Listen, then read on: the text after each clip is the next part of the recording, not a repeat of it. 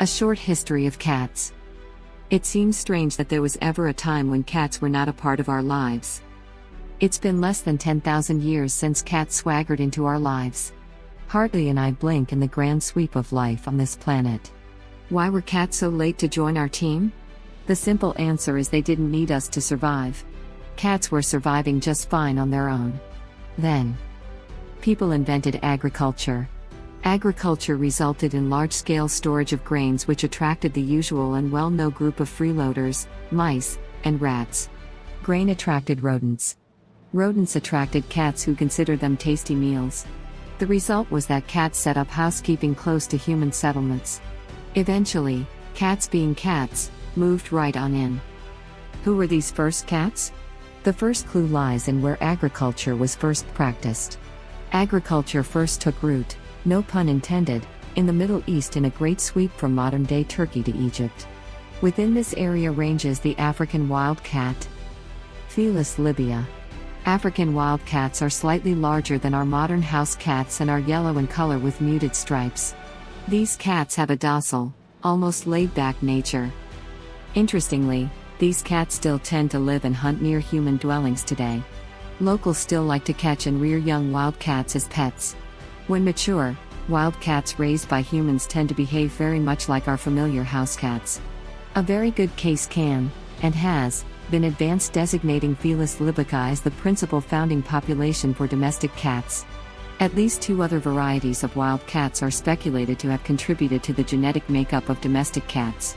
One is Felis sylvestris, the European wildcat who appears to have contributed darker markings and a peppery spirit to the African wildcat base. Also, from Asia, comes the Pallas or steppe cat, Felis manul, that appears to have contributed long haired coats to the mix. The early period of domestication of cats is vague with only patches of evidence. However, by 6000 BC, statues found in Anatolia, modern Turkey, show women playing with domestic cats. Cats had clearly become common and affectionate pets by that time. The earliest written records about cats appear by approximately 4000 BC in Egypt, where they were frequently kept to hunt mice and rats from stored grains. It was a good time to be a cat in ancient Egypt. Domestic cats were thought to be the embodiment of the goddess Bast, or Bastet. There was a necropolis at her principal temple at Bubastis that contained mummified cats. Romans spread the domestic cat northward into Central Europe and westward to. Britain during the expansion of their empire. Cats were quickly adopted and admired as great hunters. And they continued to move north and east in Europe. The Vikings used cats as both rodent hunters and pets. The Viking goddess of love and war, Freya, was associated with cats. Huge winged cats drew her chariot. It also became the custom to give new brides a kitten in her name. The Middle Ages were a very bad time to be a cat. Cats were said to be witches' familiars, in league with the devil. Because of this superstition, cats were routinely killed during festivals. Sometimes they were even burned alive or thrown off tall buildings. The Europeans paid heavily for their cruelty to cats. The deaths of so many cats allowed the rodent population to rise out of control, bringing in the Black Death, which killed so much of the European population.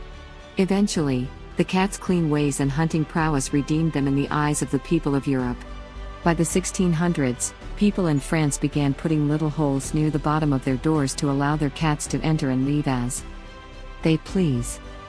In Asia, cats continued to be familiar hunters and cherished pets. Cats were often subjects for drawing and painting in China.